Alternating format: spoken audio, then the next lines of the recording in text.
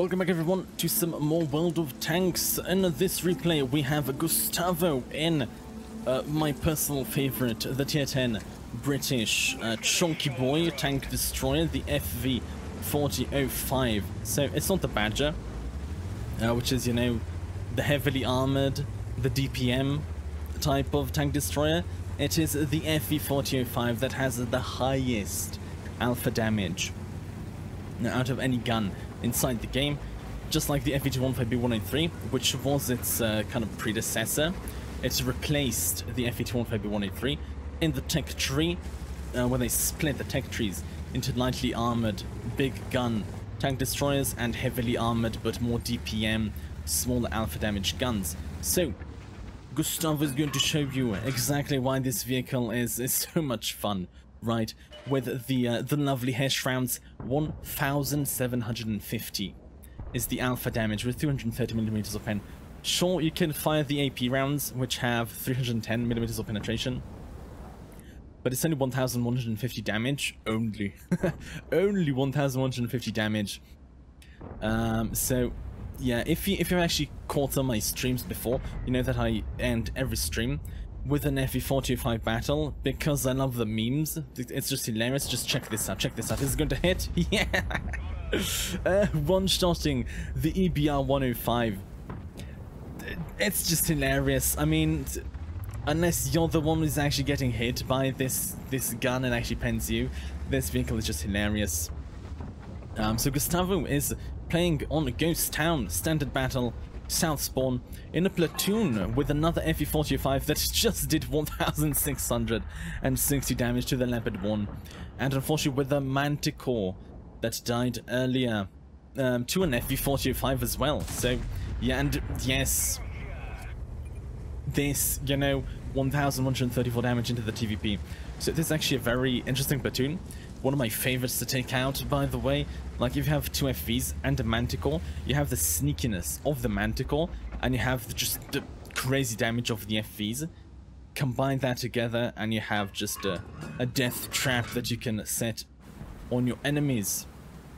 Gustavo's actually going with a pretty interesting loadout, going with gun rammer, with improved aiming, and with experimental uh, mobility system. So it's like not something you see very often um, on the FV-4005. I personally actually like to drop the gun rammer um, and go with gun laying drive, you know, to improve the the very poor aim speed of this vehicle. As you can see, it takes quite a while, but luckily it does hit. You, Gustavo actually fired AP over here. I didn't even see the switch, so that didn't one-shot the FV, unfortunately did only, only 1,278 damage.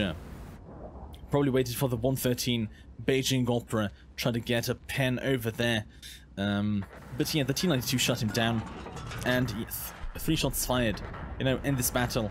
Two kills, 3,712 damage. It's, it's just, it's just ridiculous. Um, but yeah, this is this is just the start to go for a blind fire against the enemy FV-4005. Unfortunately, doesn't go through. So yeah, the, what I was on earlier, right? I do like to take improved aiming, of course. This vehicle has awful 0.4, if I'm not mistaken, maybe 0.42 uh, base dispersion. Just a second. Ah, the 113 just disappeared, unfortunately. Um, yeah, awful, awful base accuracy. So improved aiming, on the move. What was that? I don't even know. I don't even know. Gustavo's just having fun, I guess. Um, yeah, so improved aiming. Yes, gun laying drive for the very poor aim time. And then a turbo, because it has awful reverse speed.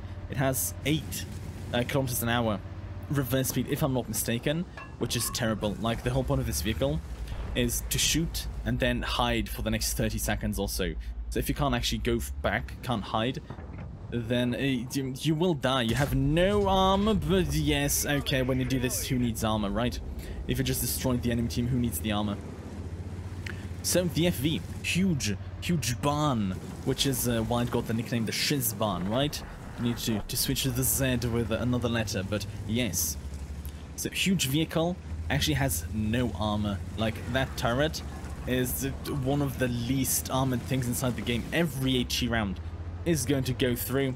You do need to watch out for that when playing the FV, but if you can hit, if you can hit the grill over here, check this out. Check this out. Miss. I was hyping up the shot too much. Oh no, don't push your friend.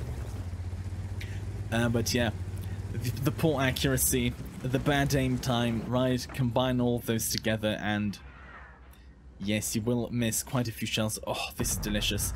This is delicious for no nick, no name in the FV as well. Uh, the platoon mate shutting down the 113 Beijing Opera with one shell because this is just what it does. So, this vehicle, like, it will cost you a lot to play.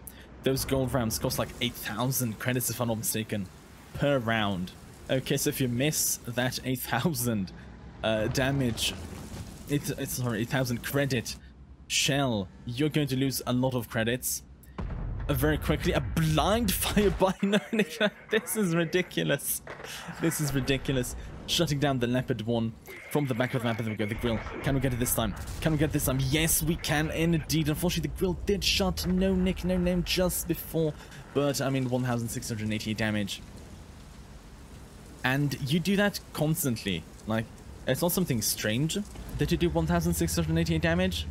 It's like 210 penetration is enough to go through quite a few vehicles at tier 10.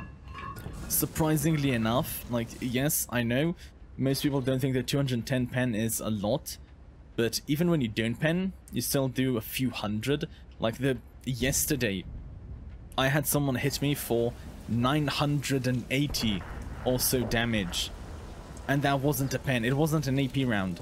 So, even if you hit and do not pen, you'll still do quite a lot of damage.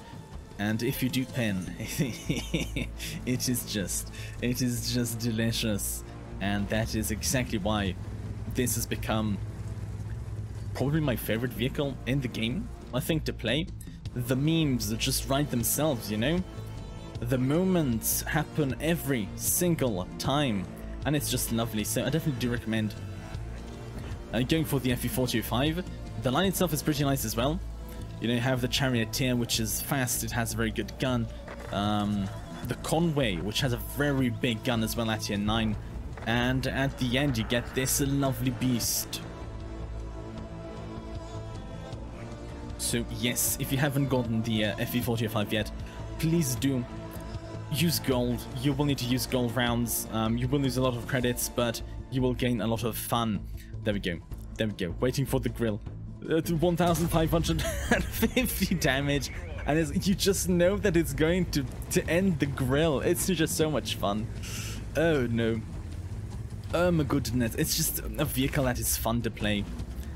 Th that's pretty much it. Sure, it's not fun to, to get penned, like I said at the start, by this vehicle but just trolling around, memeing, and especially you're a platoon with another FV, with a, with a light tank that you trust, it's just ridiculous amounts of fun. So please do, please do try the FV. But yeah, let's let's get back to the game, right? Gustavo is up to 5 kills, 7,600 damage, but it's still not over. Oh my goodness, the FV, 215 trying to get the Okay, okay, Gustavo, see how it is with a clutch into the cupola of its its predecessor, the vehicle it replaced, uh, the FV215B 183, that could have actually one-shot Gustavo here. Even though Gustavo's on 1,828 hit points, right? This could have been a one-shot. 1,750 can easily do 1,850. Actually had a roll of 2,000 once which is just ridiculous. It's crazy stuff, but that's that's what this vehicle does. That is what this vehicle does. A lot of damage in one shell, and then you run, pretty much. But now it is a 2v3, UDES 1516, and two artillery versus Gustavo, and uh, and only Gustavo apparently because the UDES shut down. The 261 unfortunately. What is Gustavo going to do? Trying to blind fire maybe the cupola of Blind Fire still spotted, now trying to blind fire the UDES 1516, not connecting unfortunately. Maybe they did. Maybe they did connect. The UDES was on 1000 hit points. Gonna have to wait and see if that shell actually hit the UDES later. But now in this 1v3, what you need to do here is be aggressive. Like, you can't wait until everyone surrounds you, until they all go forwards to shoot you from all angles. You need to be aggressive, go after them one by one by one by one. There we go. The UDES is on 1024 hit points, so unfortunately the blind fire didn't hit, didn't do any damage. Whew, can Gustavo get the pen? Can get enough damage over here. The Udes goes with an HE round. Like I said, this vehicle has no armor whatsoever. But then we get into the upper part of the Udes. When it's angled like this, it's an easy pen. The T92 does 563 damage as well, which is not good. That means that if the T92 or the Batchat actually pen, they can one-shot, I believe, um, Gustavo over here. I think the Batchat has like 600, maybe 650 alpha, if I'm not mistaken. And the T92 can obviously one-shot Gustavo if they pen. If they pen. So it's kind of like what the old artillery were, right? The FV-4005, chunky boy damage, but uh, not an, a lot of pen against the new artillery with stun. Who's going to win? Who is going to win? There's the T-92. The T-92 falls back. Okay. Good shot by Gustavo. The shutting down uh, the T-92. Nice. And writing in the chat 10.7k. Because yes, once you reach that 10k mark, you know you had an amazing game. Uh, but I was surprised the T-92 didn't try to fire over here. Just need to hit this, this, this huge barn of a turret, and it will go through most likely. But the T-92 fell back, Gustavo got the kill, and now it is Gustavo versus the Batchat 15558, who's trying to cap. Uh, this is going to be dangerous. This is going to be dangerous. Can Gustavo reach the base in time? That is the question, right? This vehicle is definitely not the fastest. Like Gustavo is using uh, the experimental mobility equipment, which will make them a little faster. It is not tier 3 though, so it's only slightly faster. But you're gonna have to wait and see. Just going forwards, using the shortest route to the base, 45 seconds. 44 seconds. There is still time, but you know, this vehicle's not fast. Oh my goodness, why am I getting stressed? Why am I getting stressed? Oh no. I guess it's going to be one shot, right? Usually have like 20. With the gun ram, you can actually get it down to like 24, maybe 23 second reload. Uh, but yeah, no time for another shell. There's going to be one shell to determine the outcome of this battle. There's the Batchat. The Batchat got spotted. 15 seconds. Wait, wait, have only one chance. One chance. The Batchat actually stuns, repairs the stun, finds the Batchat and gets the kill. Easy peasy. 11k damage and 9 kills. GG. Well played. Good job by the grill. And, uh, I mean, FV4005 people, go and get it now. It's amazing. Gustavo with an amazing game. 11,000 damage that we've seen. There were a few very uh, interesting blind fires earlier in this battle. Uh, but yeah, 9 kills, 11,000 damage, securing the win, winning that 1v3, right? Delicious stuff over here. But let's go and check the post-game stats to see exactly how delicious it was. There we go. Easy ace tanker over here for the 1412 base experience, getting a Pascucci's medal for destroying the two artillery, the T-92 and Batchat 15558, the Radley-Walters for getting a 9 kills over here. A defender for the 90 defense points against the Batchat 15558 at the, uh, the, the last few seconds, right? The last shot of the game. High caliber, of course, for 11,000 damage. And a Top Gun. 14 shots fired, 10 hit, 10 penned. It's it's like it's the dream of an FV player, right? To be able to both fire so many rounds and to just have a 100% pen rate, absolutely delicious. Unfortunately, none of the the interesting blind shots uh, actually hit. So, you know, it's only, only 1,011, sorry, 1,000 damage over here.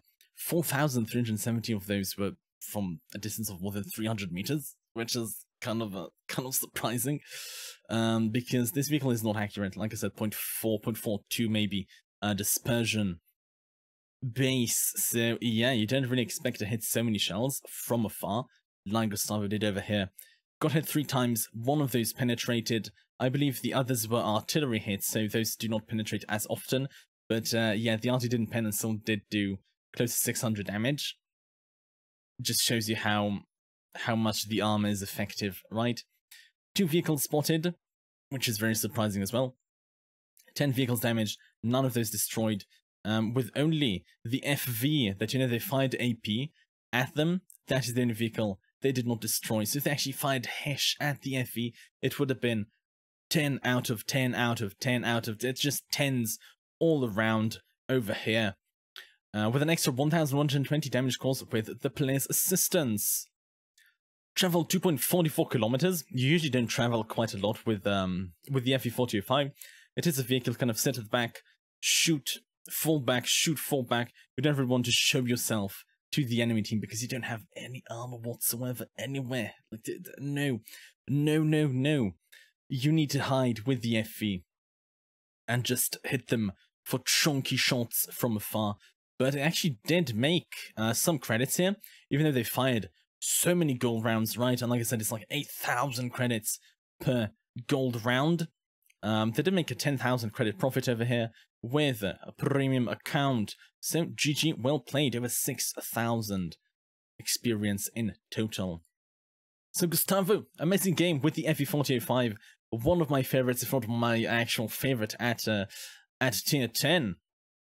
I'm actually going to go to Tankfest most likely, unless there's uh, some the sudden changes in plans just because the FV is going to be going on a ride, right, for the first time ever, if I'm not mistaken, in Tankfest.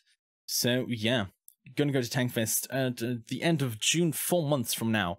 If anyone is uh, interested to come and uh, chat in Tankfest, I will most likely be uh, there. Uh, but that's it for this video. Thank you so much for watching. You're awesome. Stay awesome. Stay safe. And hopefully I'll see you all in the next video. Ta-tas, have a good one people!